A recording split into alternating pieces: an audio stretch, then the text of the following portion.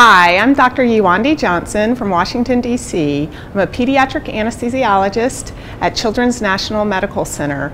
I'm here representing the anesthesi anesthesiology section, in which I have to say this is one of the best NMA conferences I've attended.